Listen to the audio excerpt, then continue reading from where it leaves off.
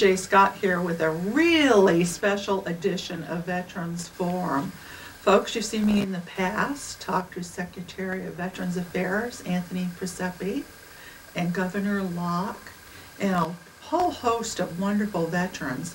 Well, I have a world-renowned author, screenwriter, winner of the Golden Globe, and yes, a sailor. And take a look, keep guessing, get that VCR going. Yeah, the author of The Last Detail, Darryl Ponicsan, my guest. Gee, thanks for joining us today on Veterans Forum. What a treat. My pleasure to be here.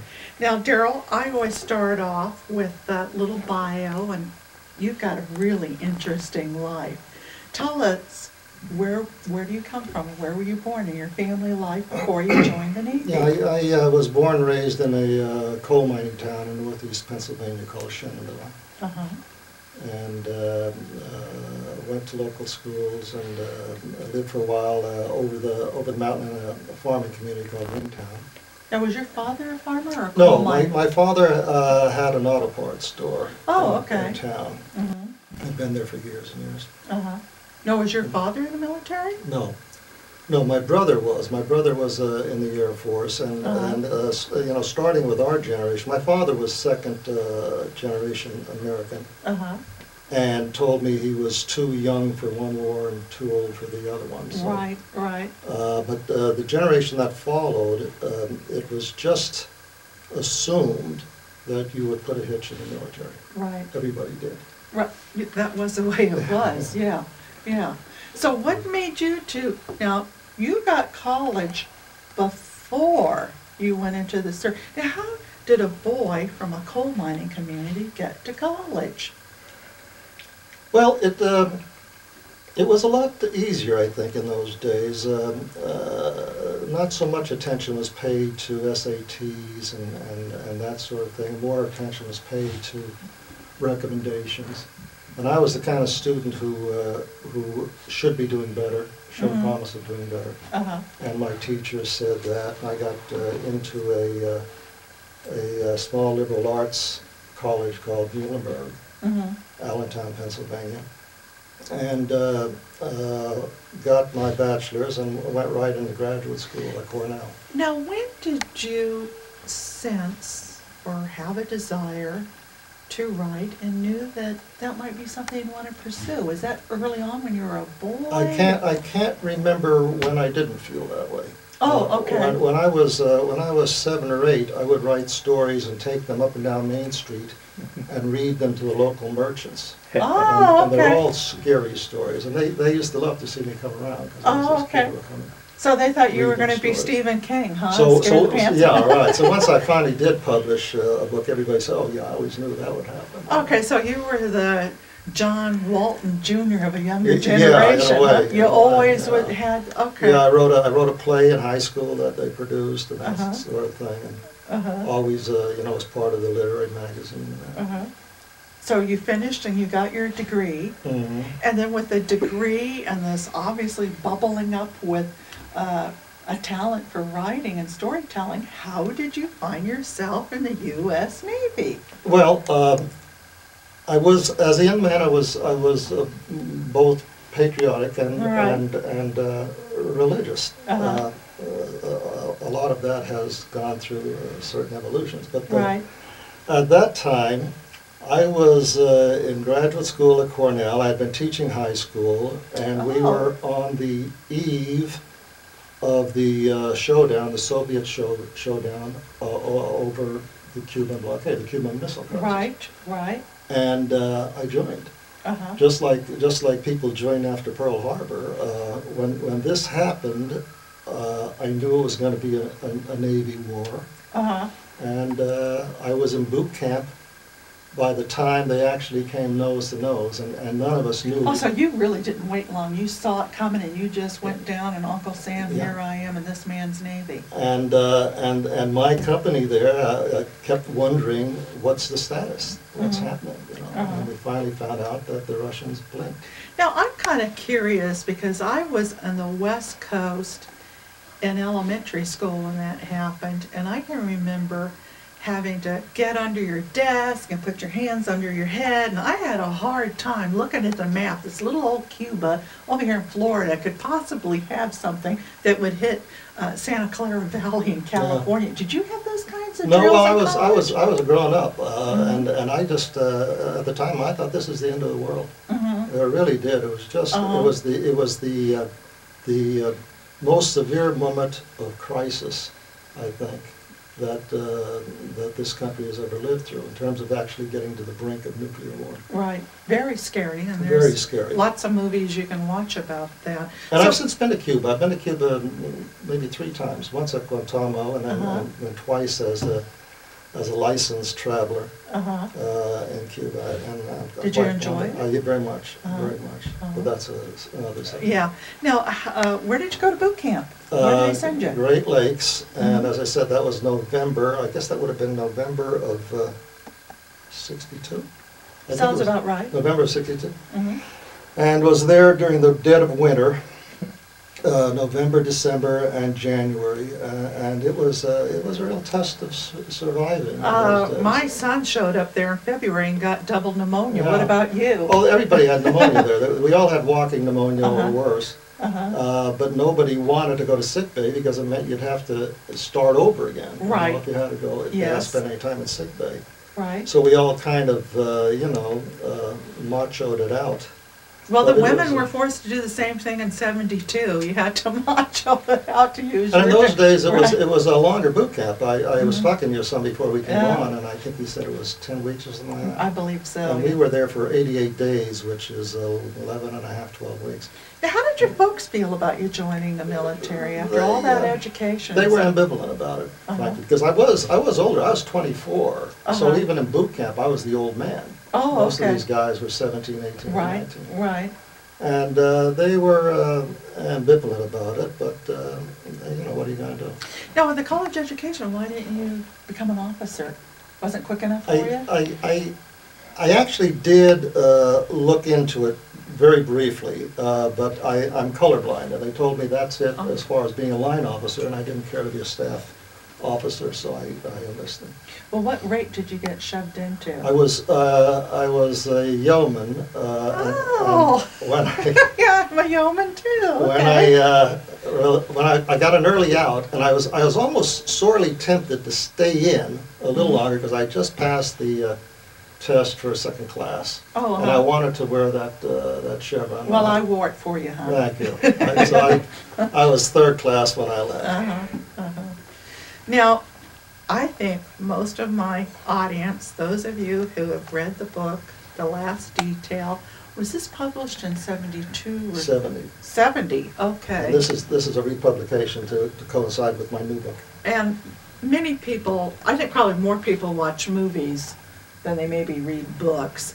But it was a great, well, I got inter, I read the book after I saw the movie. Mm-hmm. Because I was pretty in dating at the time, and some sailor who had other things on his mind took me to see the movie. But uh, if you recall, Jack Nicholson played the title uh, character, and Randy Quaid was the poor schmuck that took got caught taking forty dollars. You know, we should probably mention what the, for those who haven't read it, uh, it's a story about. Yeah, tell it's us. A story about two, uh, two first-class petty officers in transit at Mhm. Norfolk who are assigned temporary duty as chasers to escort this kid from uh, Norfolk to uh, the brig in Portsmouth, New Hampshire. And uh, they see this as pretty good duty, uh, something to do, get off the base for a while. Uh, and then they find out that the kid was sentenced to uh, eight years for stealing forty dollars Now I need from the to. PX. I need to ask: Is this based on any true stories? It is. Oh It. Lord, okay, because I remember thinking eight, eight uh, years for forty lousy bucks seemed Well, really if- if you- extreme. If you, you remember the Uniform Code of Military Justice, uh, most penalties are as a court-martial shall direct. Uh-huh. So in this particular case, the kid stole the forty bucks from a uh, charity uh, box that was the project of the old man's old lady. Yeah, Not a good And way to Not a good way. it. And uh, as you know, uh, a captain in the Navy uh, Mm. is, is God. Or next door to it, And, uh, yeah.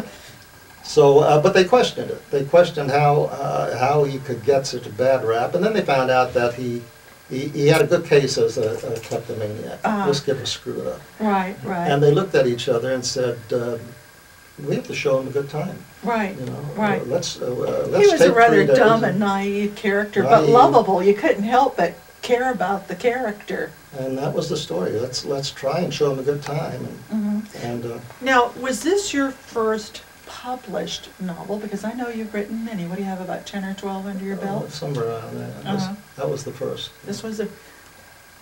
Your folks must have just been bursting with pride. Your first novel, and it just woo, You, skyrocketed. you don't understand. I, I was I was born in a place uh, of a generation where, where my folks did the best they could to discourage me, you know, because they didn't want Oh. me having a big head. Oh, okay. So uh, my mother's comment on the book was, "I like the cover." She, she didn't like the language. She thought. Oh, uh, and I had to explain to her that sailors, when they're on their own, sometimes use salty language. Right. My father was a, a bit more supporting. I think. I think he Mhm. was he was kind of proud. hmm Well, good, good. And it became a wonderful movie. And were you nominated that for anything on this particular book? Uh, I did not do the screenplay. The the, uh, the adapt the adapter, uh, uh, a writer named Robert Towne, was nominated for screenplay. oh, okay. Jack Nicholson was nominated for the uh, best actor. Randy Quaid for supporting actor. hmm hmm Well, I loved the book and I and I loved the movie.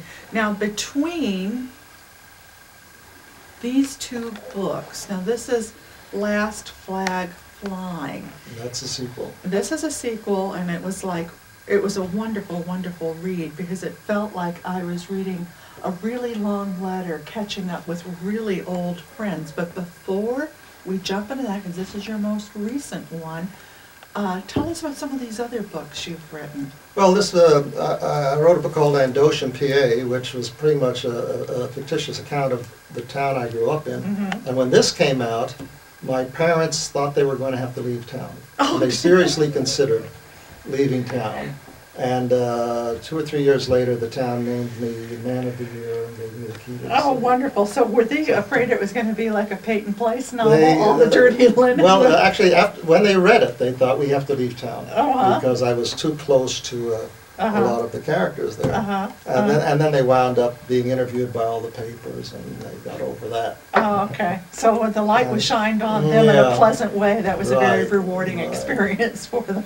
Now, before we get too much further, we do have a picture, and I'm gonna hold it up here for a while, of you in your uniform. And what a handsome guy you are. Tell us about Or the at least was. huh? I, I was the most beautiful woman 30 years ago. You wouldn't believe it.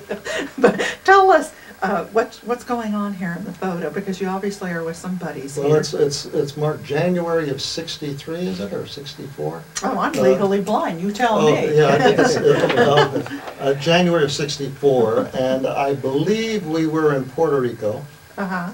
uh, San Juan, Puerto Rico, uh, having uh, Liberty, because we used to, we used to take Marines down to Vieques, where they would blast up that island. Uh, Oh, uh-huh. They're not allowed to anymore, they Right. finally decided they had enough of that, but that used to be uh, one of our regular routines. hmm And while they were blasting up the island, we'd go to San Juan, Mhm. which was uh, a wonderful liberty. The best, best fried chicken I ever had in my life was in San Juan. Really, the best fried Best chicken. fried chicken. Have you So been in was the always a South? Yes, I am. Damn, it was still. And we used to go to, we used to go to, our first stop was at Trader Vic's, and we'd get, uh, and, and the drinks there were terribly expensive. They were Mhm. maybe two dollars a piece. Uh-huh. But they were these big drinks with umbrellas and we'd get Uh-huh. one of those. Well, when you look back at your Navy time, you were just in three years. Is it pleasant memories or? It's very pleasant now. I Oh. mean, at the time, it, uh, you know, uh, I think most people enjoy their service years uh, uh, long after they've served them. Well, I have to admit, so- I don't know about you, but I ran into my fair share of, shall we call them jerks? Hey. That's putting it mildly. Uh, those in the military know what I'm talking about. But you meet a wide range of people, but by and large, looking back, I, yeah, I don't regret going in. I don't regret No. going in for a minute. I was I- able to get my college education because I went in, actually, I signed up before I was 18 and they had to have me redo it because I wanted the college education. I wanted those benefits to go to college, and I did accomplish that. Well, they didn't waste any benefits on me. I already had my college, and I was Right. very close to a master's degree. Mm-hmm. But I've, I've said in past interviews that uh, the Navy uh, was my real education. Mm-hmm. I mean, that, I, I finally had something to write about. Well, o- obviously, so the characters in the last detail, were these uh, real people or you combined it, different personality aspects into one I person? combined uh, from various guys I knew, Mhm. You know. Not, not, not one of them is closely drawn on a, on a prototype. Uh-huh. Okay, now what, uh, let's go through some of your other books here, and then we Oh, gotta jump into the Okay, last. th- this one, I just, um, I, I, I picked up a couple of these as uh, I came Mhm. over. This, this was the ringmaster. I went off and, oh, I should show you this picture. I went off and uh, r- around, uh, traveled with the circus, uh, three-ring tented circus, Yeah, when did you do that? uh, in the uh, season of seventy-six. I remember because it was the bicentennial. Oh, okay. And, uh, and in the circus, I, I went there as an observer, I was doing Uh-huh. research. Uh-huh. I'd rented a, a small RV. But on a circus lot, everybody winds up doing everything. So Mhm. eventually I became a clown. Oh, And okay. performed with the circus. And what encouraged you to do that? Uh, I was writing, actually, I was writing this book. Oh, This is a, this is a, uh, um, biographical novel of the Western film star Tom Mix, Oh, silent film star. Right, And part of his life was with a three-ring circus, much like this one. Oh, Okay. And so Okay. I, I, I went with the circus for just a weekend to research it for that book, and, and just thought, boy, this is a fertile soil Mm-hmm, for, uh, for drama. right. And then I decided to spend a whole season with him, Wow, wow. and the result was that book. Okay, well, I guess that paid off for you in more ways than one, huh? Yeah.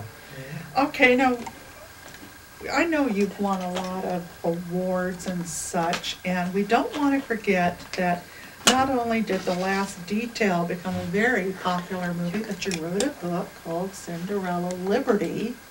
You want to give us a brief uh, synopsis I of should that? have brought a copy of that. Well, that was also a movie, and those of you who need a kind of little key, it had James Caan and uh, Marsha Mason. And that too was about a sailor. Mhm. And it wa- And that was written uh, in response to the last detail. Uh, A few years later, I'd written two books in between, but I, uh, it's hard to believe now, but in 1970, uh, I got so much heat for the language uh, in that book. And the movie itself was delayed Mhm. a couple years because of the language. The studio wanted to soften the language, and, and the writers said, no, Mhm. we wouldn't do it. The filmmaker said no. Mhm. So as a response to that, I thought, uh, you know, not every sailor uses foul language. I've Right. known some that didn't, and, and I, I'm gonna write a book about a sailor that not only doesn't use bad language, he can't abide Oh, bad okay, language. right. And that was the, that was the, uh, the- the impetus for Cinderella Liberty, but that is based on, on a natural event that occurred to me, where I was sent to the hospital Oh, okay. for surgery, a naval hospital in Portsmouth. Mhm. And uh, on the eve of the surgery, they found out I didn't need it. And so by that time, my ship had already left for the Mediterranean, and he said, it's gonna take seven days to process you out of here. So for seven days, I was in the hospital, nothing wrong with me. They gave me liberty at night, but I'd have to be back by twelve o'clock. Right, right. liberty. Uh, And uh, I, I just hung around for a, a week playing Monopoly and um, uh, going out on Liberty and staggering in at 12 Right. o'clock and finding my Right. bed in the ward. And I thought, what would happen if they lost my records Oh, entirely? would I serve out my time in the hospital right, for the rest of my right, And that was, uh, that was the story in, in Cinderella Liberty. They right. lose his records. Well, I can tell you that, uh, they do lose your records because when I, uh, years after I was discharged in seventy-nine, put in for disability compensation, they lost my record, so it was, that's a Well, long story, but yeah, after- they lose after- record. After the book, I heard from any number of people who said, that's my story. Yeah, I'm sure, I'm sure. Now, let's, you got an award for uh, Cinderella Liberty, the Golden Globe, is that correct? I was nominated for, a- for a Golden Globe, yes. Uh-huh. Marsha, Marsha won it that year. Uh-huh, And uh, that year also, I won the uh, NAACP Image Award. Mhm. I was uh, the first and I think the only Caucasian to ever win that award. Really? Was that because maybe you showed a, a, well, I don't know if I want to say totally gritty, but a more realistic, I mean, there are mixed raced children, and I don't know that that was always considered polite to discuss previous to that book, the movie. And there it was. I mean, this is, this is reality. Yeah, I think that was the reason. That was the Uh-huh. reason that, that, that uh, a, a black kid could be part of, uh, of this reconstituted family, which is, you Mhm. know, a white couple, and uh, I think that was the reason. Possibly. Well, Yeah. what, that's, that's really a, a big award to be the only Caucasian Yeah, to ra- ever- race, race figures in, in uh, actually most of my books. I think it's one of the uh, ongoing abiding issues in America. Mhm. So I try to uh, deal, deal with it in some way uh, in, in all three of the Navy books. Mhm. Okay, now let's jump to Last Flag Flying, which as I mentioned earlier is the same characters in the last detail. What, I'm so glad you wrote it, but I have to ask what prompted you to bring these characters back to the forefront? Well, I, I really had no intention to, but I, I had a friend who was, was such a fan of the last detail, he kept urging me to do it. And Uh-huh. I, and I said, I don't think it's a good idea.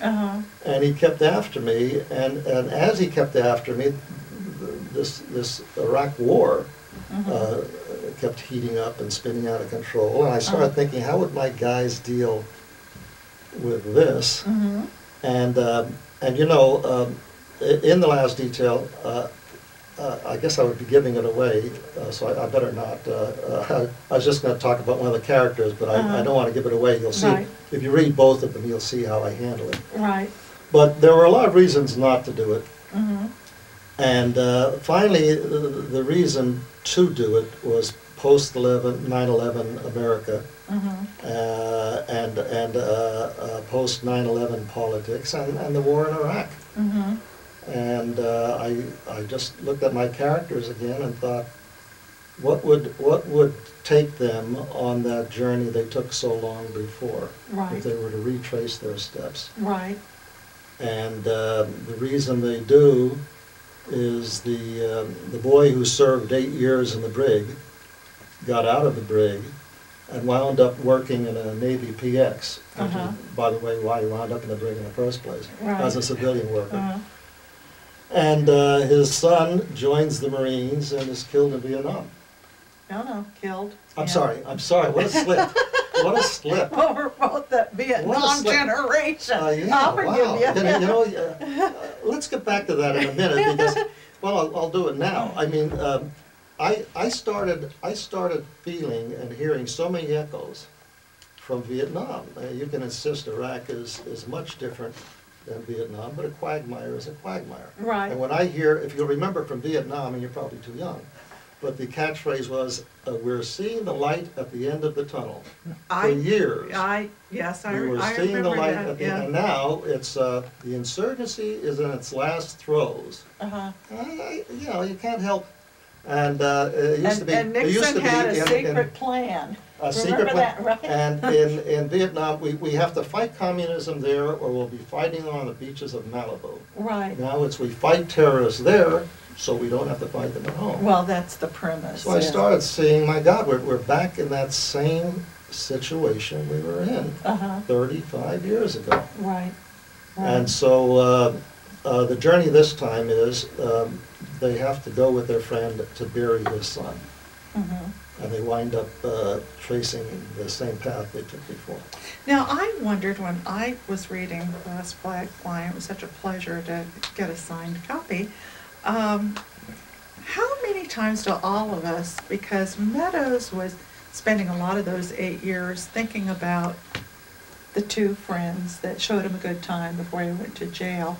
And his thoughts were nothing like the actual reality. And I'm not going to go into the reality, read, read the book.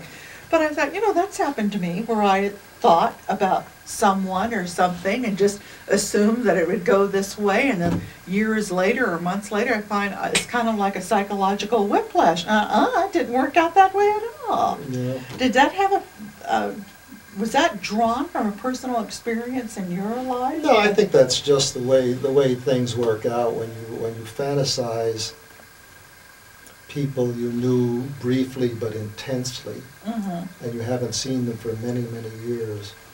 You, you, you put them in the element in which you last saw them. Right, And these guys were proud 4.0 sailors. right. So uh, our guy in the brig always imagined them that way. Standing inspection on a ship and, going on liberty, and, and the truth was uh, far different. Mhm. Uh, the, the, the two had never seen each other again, never saw each other after that detail. Now, uh, Last Flag Flying, is it out at the bookstores now? It uh, should be by the time uh, this airs. It's on the internet, uh, Amazon, Barnes and Noble, and uh, and uh, certainly your bookstore can order it if they don't have it in stock. Well, I would encourage you to get this book, but frankly, if you don't know about the last detail, this isn't gonna make maybe quite as much sense. Well, I think it's, I think you'll enjoy it more if you read the last detail, but I, I tried to make it stand on its own. Right, yes, yes, wonderful read, wonderful read. I really encourage you uh, to read the book. Uh, It was wonderful, I- but of course, I'm a big fan of the last detail, so I really enjoyed it. Well, I think we've about come to the end of our time. I want to thank you so much for being a guest on uh, Veterans Forum. It was my And as a. Navy wave, I'm glad to talk to a, a male yeoman. Thank you so much and get the book. It's a great read. God bless you. And remember, we're still at war. So continue praying for our troops, for their safety and protection. And continue to pray that our political leaders would be led down the right trail. See you next time.